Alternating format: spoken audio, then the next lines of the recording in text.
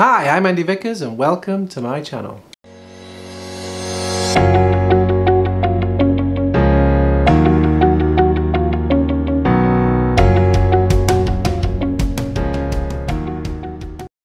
So today we're going to use something called anti-cogging to turn a stuttery slow motor like this into something like this.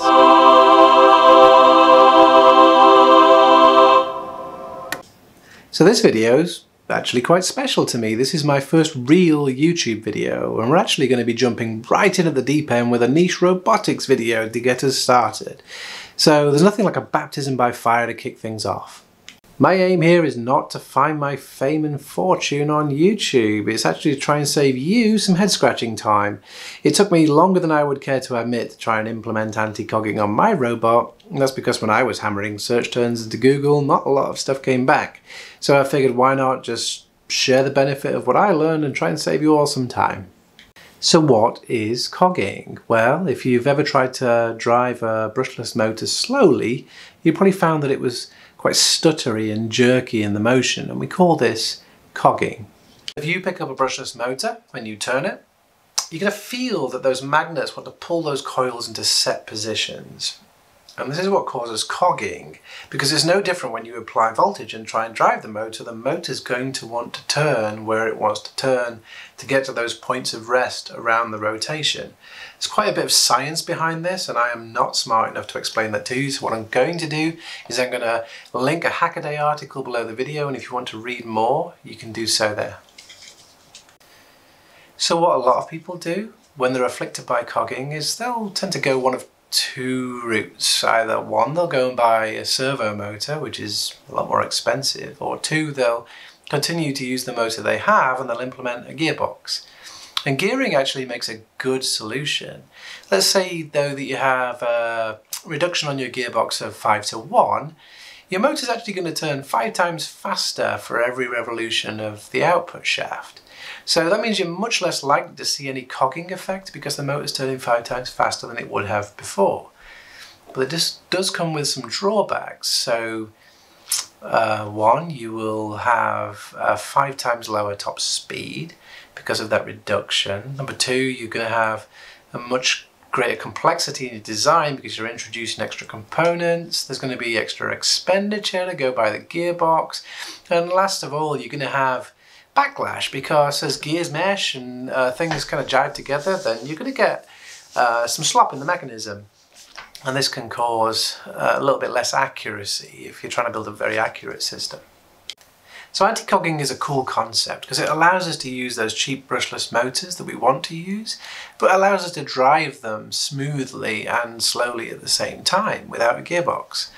So the way it works is it first of all calibrates and that basically is it drawing a map. It rotates the motor through 360 degrees and throughout that rotation it measures the magnetic strength of the motor at each point and it actually stores that so when it drives the motor in the future it can give it just the right amount of torque at every point to keep it moving smoothly. So it uses that map to sort of cancel out the cog effect. So I've got a nice simple setup for us today. I have a Meanwell 24 volt power supply that's powering everything. I've got the Pi 400 to tap all the commands into. I've got the ODrive, the encoder, and finally I've got the D5065 motor, which is just one of the two brushless motors that you can buy from ODrive Robotics. So nice and straightforward setup today. Okay, we're over on the Pi now, so the first thing I'm going to do is open a terminal window. So if that's not on your top bar, you can just go to accessories and then terminal. I'm assuming at this point you've installed the ODrive tool, so I'm just going to do a sudo su and then I'm going to load the ODrive tool by typing ODrive tool shell. So you can see now that it's loaded the ODrive tool and actually my ODrive is connected really quickly so there it is, it's connected right now. So just so you know I'm not going to pull the wool over your eyes, the first thing I'm going to do here is completely erase the configuration. So we're doing a factory reset now on the ODrive, so I'll have no settings in there whatsoever. And actually you can see that bunch of junk that just showed up, that actually meant that the ODrive itself wiped and then reloaded, and you can see there that it's reconnected at the bottom of the screen.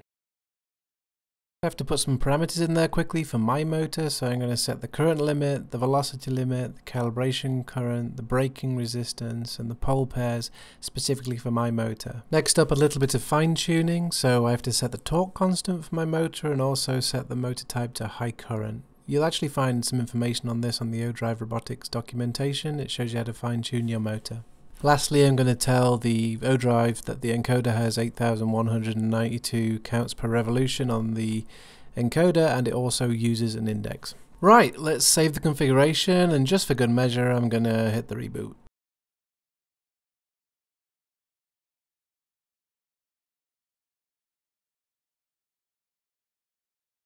So there's three more fine-tune values that we need to complete here. So one is the position gain, another one is the velocity gain, and the final one is the velocity integrator gain.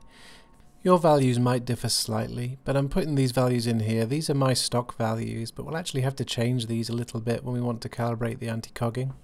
Now we're going to do a full calibration sequence. So it's going to turn the motor all the way one way and then all the way back. And it's going to record the encoder positions and the encoder index and store all the motor variables inside of the configuration tables inside the ODrive.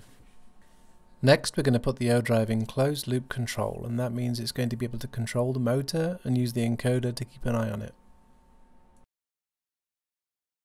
Now we're at the point where we can turn the motor, so let's just make sure it looks like a horrible jerky mess. So I'm just going to put the ODrive in velocity control mode, if I can spell it right, and then I'm going to make the motor turn. So let's start with 0.5. Oh, that does look a little bad, but we can probably make it worse. So let's do 0.2. Yep, that's pretty awful.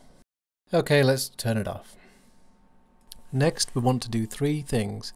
First, we want to tell the ODrive that we have pre-calibrated our encoder and that that encoder has an index. And then we want to tell it that we've pre-calibrated the motor because we don't want to have to do a full calibration sequence every time we turn the ODrive on. Now we're going to put the ODrive in position control mode and if like me you just had your ODrive in velocity control mode and you'd sent it some numbers you might find that when you execute this command that it spins the motor wildly in one direction or the other while it finds that position on the encoder. We also need to set the input mode to pass through and just for good measure we're going to put the axis in closed loop control. Now we're nearly ready to run the anti-cogging calibration sequence, but first I want to give you a tip. I actually found this tip on the ODrive forums and it was someone called Wet Melon that posted this, but you need to increase your position gain and your velocity integrator gain, otherwise the anti-cogging seems to take weeks. If you increase this number it'll take about a minute, so alter these numbers to make them higher. I've picked some values that work for me, so pick some values that work for your setup. Alright, the moment we've all been waiting for, it's time to start the anti-cogging calibration sequence and we do that by typing ODrive 0 axis 0 controller start anti-cogging calibration. Once you do this, the motor is going to start turning really slowly in a full circle and it'll be measuring the magnetic strength at each point, so be patient. As I said, this can take some time I've actually sped up the graphic above just to show you what's going on. You can actually check the progress though, there's a variable, you can see me typing it in here, so that's config.anticogging.calib underscore anticogging, and while that variable shows true, the process is still going on, so wait patiently until that variable outputs as false and then you'll know you're complete. Now we're going to tell the ODrive that we've pre-calibrated the anti-cogging sequence and that means every time we turn the ODrive on we won't need to calibrate the anti-cogging. Now don't forget to put your position gain and velocity integrator gain back to what they were before you increased them for the anti-cogging sequence. Now all that remains is to save your configuration and give the ODrive a reboot.